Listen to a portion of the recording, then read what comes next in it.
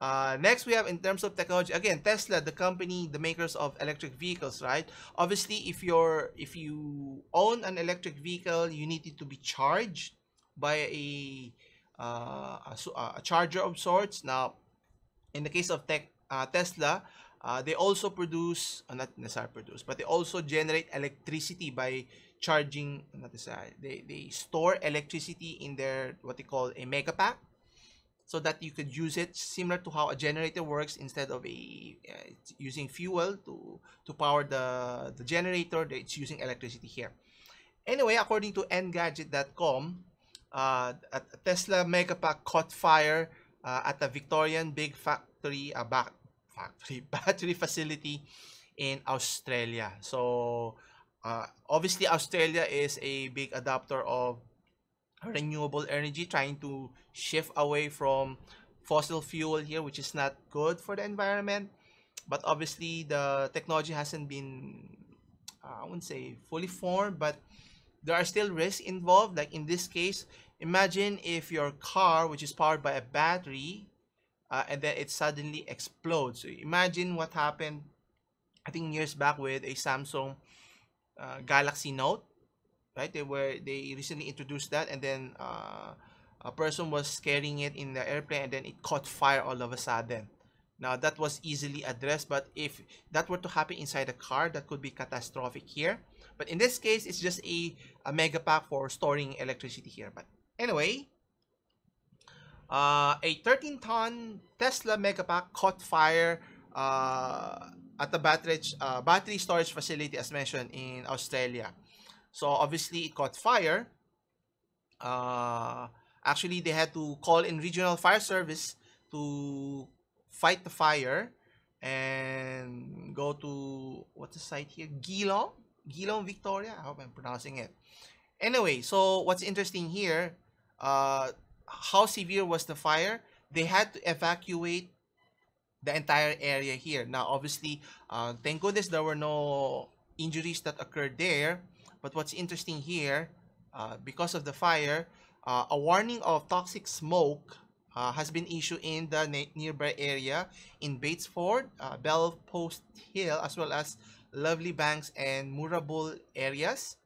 So meaning the fire that, you know, the, the fire it uh, it exhausts or the, the, the, the toxic that it, it uh, generates from the fire can be deadly and obviously you know containing that fire is important here because imagine if you know it was a big widespread uh, fire could be dangerous you know and no one wants you know uh, significant fatalities here. And obviously the technology is still considered new per se.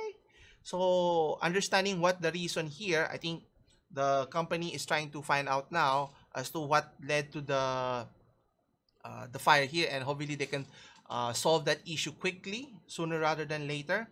And even to the point that residents were warned to stay indoors, close the windows and vents and fireplaces, uh, and bring pets inside. So that's how bad that it could be. So imagine it was just a small scale incident, and if it were to turn into a big fire, who knows what could have happened there. But thankfully, that did not happen, regardless. But what's interesting here is that the Victorian bat, uh, big battery site is uh, housing a 300 or to 450 megawatt battery storage facility.